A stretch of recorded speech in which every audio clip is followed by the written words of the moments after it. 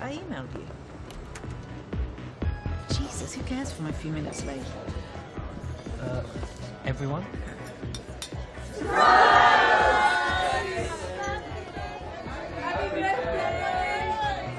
So there's this king, King George, and he likes things big and he likes things round.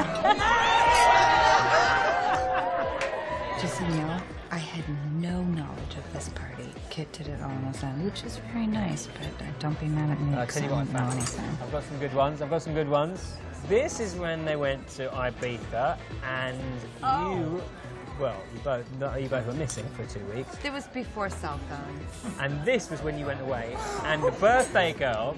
That was right after Milly ate organic mushrooms. okay that's enough of that. Coming.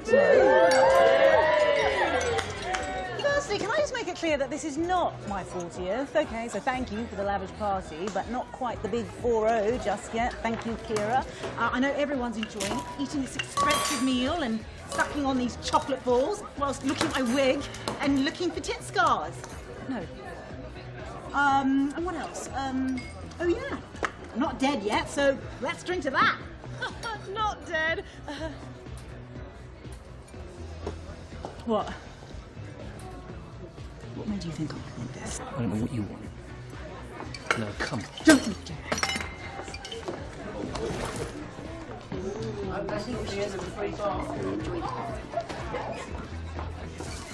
Don't follow me like an old Battersea dog. Excuse me. I've had enough of that. What? You spent most of your 20s face down in a vat full of Jack Daniels? yeah, yeah, then I grew up. Milly, get back in the party. No, it's a shit party. I'm enjoying myself. Oh, well, that's good. That's important because it's your night, isn't it? A little bit of limelight for the heroic spouse. Yeah, that's why I booked your favourite restaurant and paid for your inbred cousins to come all the way up here. Well, I'll reimburse you the 4750 petrol money for the camper You have no clue how long it took me to organise people that you care about to come all the way down here. No clue! Well, well done, you. Now you've got your database when you arrange my funeral. Wait,